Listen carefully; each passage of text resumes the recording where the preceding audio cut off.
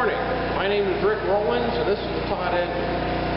In uh, 1995-96, uh, a group of us got together and acquired this engine from North Star Steel, Youngstown here, and dismantled it, moved it, put it in storage for about 10 years. Uh, in 2007, we uh, successfully relocated the engine, bringing it over here to the east side of Youngstown and reassembling it and building a uh, building around it.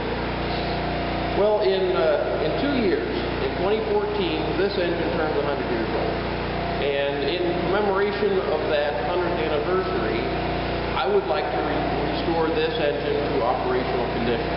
Uh, not on steam, but being turned by an electric motor. But uh, everything on here I'd like to see operational, the valve gear, everything moving, the wheel spinning, of course. Uh, and uh, to get from where we're at now in 2012 to having this operational in 2014 is going to be a, a bit of a challenge. We still have about 150 cubic yards of concrete to pour under the engine to, uh, to build a good foundation for it. We still have to uh, finish the building, uh, put the rest of the crane runways in here, get the crane rewired, operational. Uh, we have a little bit of other building work to do, besides the mechanical and cosmetic restoration of the engine itself. So this video here is going to be the first one in a series that uh, we will produce and place on YouTube as we do the restoration work. So you can follow along on our progress as we take this engine from just sitting here in static condition to uh, fully operational condition. So uh, subscribe to this channel and you will receive notices of each video as they come online. Uh, not only this series will serve to document what we're doing, but also to help educate about some of the techniques and processes that we're going to use in the restoration of this engine. So um, I hope you enjoy the, uh, the series, and uh, if you can, if you uh, would like to participate in this project by volunteering or uh, making a contribution, or uh, would you just like to come out here and, uh, and see the engine itself, get in touch with me at rick at todengine.org or at todengine.org website.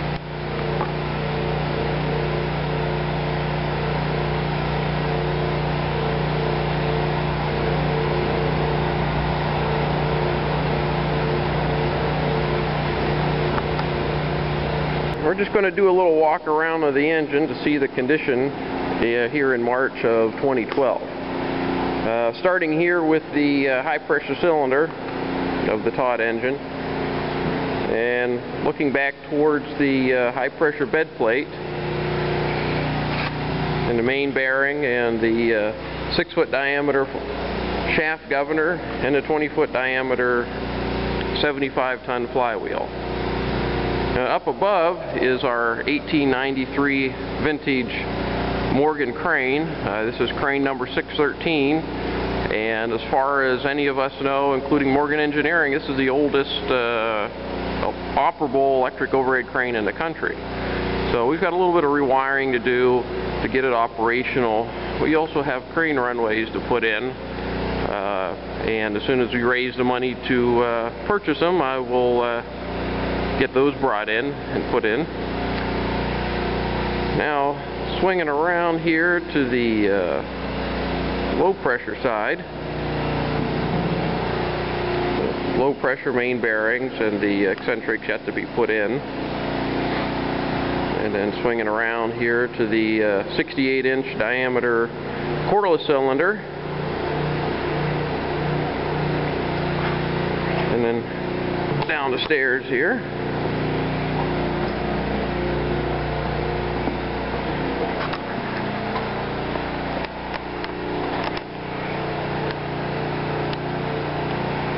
William Tod Company, Youngstown, Ohio. This is a product of 1914, built uh, in downtown at the uh, site of uh, was now the United Engineering Buildings, which the city is intent on destroying. There's our flywheel and our crane. Now as we uh, walk around the side here,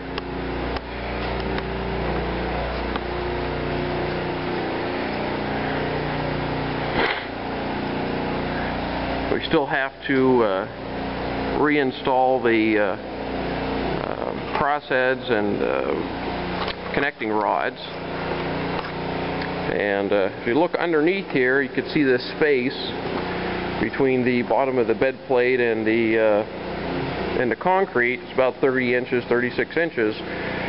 We have to place rebar in there and pour this full of concrete to give this engine a, a decent base. Uh, the reason it's setting up like this is because when I brought the engine over here, didn't have enough money to put a foundation and move the engine. I could do one or the other. So I thought having the engine here up on blocks is better than having a foundation with no engine sitting on it. So some of the realities of trying to do this without uh, loads of funding. Um, this is just mainly myself and two or three other individuals doing this. I spend a lot of time here. So, you know, this is not a well-endowed project. We receive no government money. We receive nothing but donations from people who want to see this happen. Uh, trying to preserve a little bit of Youngstown's heritage. Uh, there's the uh, coupling for the uh, drive shafts. Uh, this engine drove a six-stand rolling mill at Youngstown Sheet and Tube and off each end of this engine was a drive shaft, 12-inch diameter drive shaft that went off 150 feet to six gearboxes and then sent power into the uh, six-stand merchant mill. 4,000 horsepower engine ran at 75 RPM, operated from 1914 up up until the plant closed in 1979. It's a flywheel hub. Wheel itself, the uh, video doesn't do justice to the size of this engine. Uh, it, it is the largest stationary steam engine to be moved for preservation in the country. And as we come along here to the high pressure side, there's the other uh, coupling walking down along here. Now this here is an 1890 Olsen uh, tensile testing machine. It was donated by uh, Morgan Engineering. It was probably used to um, test the steel that was used in the construction of our crane.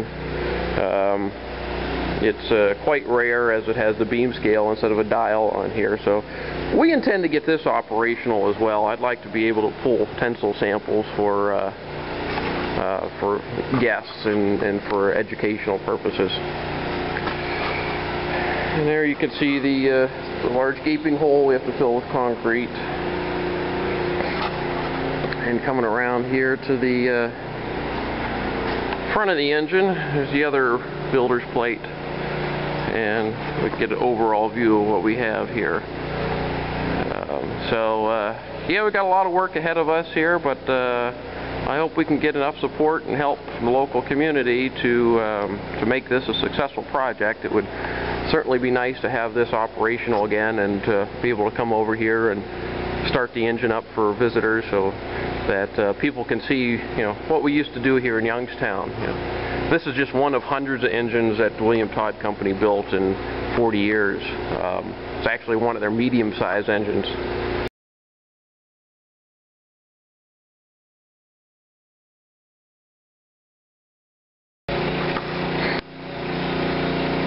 Well, here we are up on the uh, platform of the Morgan crane.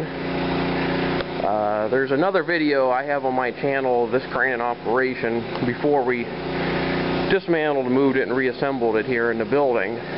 So, uh, in that video, we were down there in the cab.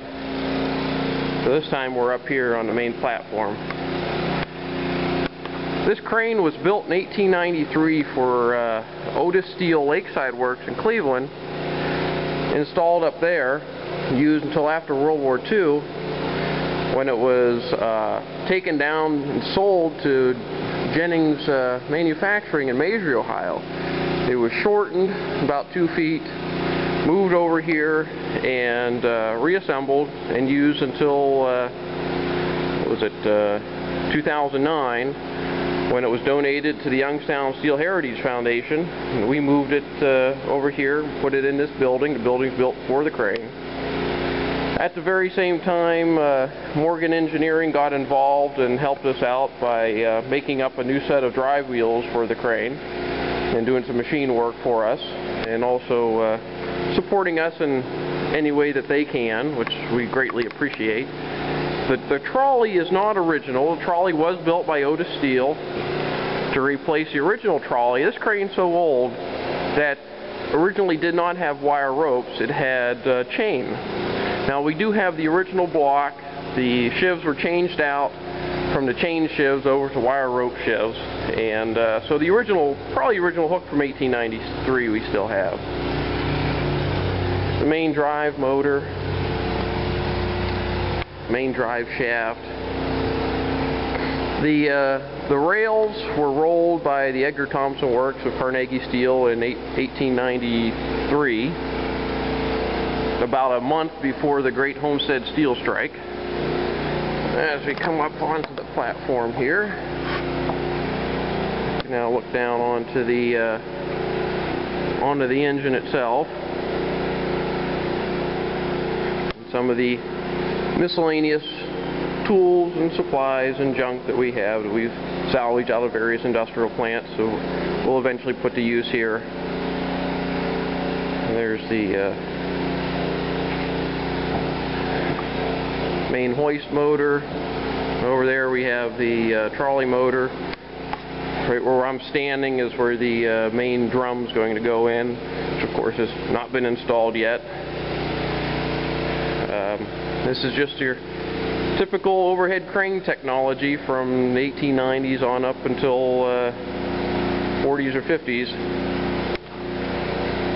Our uh, our building here, this is a new building built by Shenango Steel Buildings in uh, West Middlesex. And basically everything we have here is locally made. The building was made in West Middlesex. The crane come from uh, Alliance. The engine's from Youngstown. Uh, even the uh, the rails for the crane runway were rolled in 1906 at the Ohio Works. Um, we recently acquired those rails out of another building, and those are going to come up here. So even the rails that this is going to run on is going to be locally made. So everything here, I mean, this is the, the true Youngstown Steel Museum. Everything in here is, is from the Youngstown steel industry. So, um, you know, it, it's quite an exciting project here. I, I certainly would like to get this done. We can get this open to the public.